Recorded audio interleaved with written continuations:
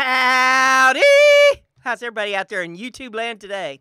Hope this finds you well. It's time for another exciting episode of Heifer Haven's Free Advice. Got my heifer over here with me. She's wanting to know what we're going to come up with today, and I'm about to tell you. Before we do, though, one thing we got to do more cowbell!